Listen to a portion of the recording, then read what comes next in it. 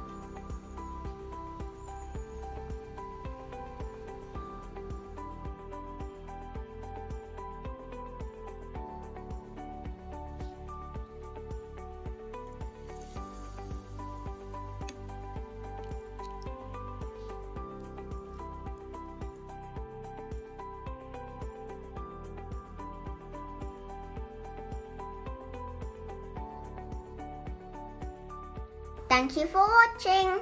Like, share and subscribe.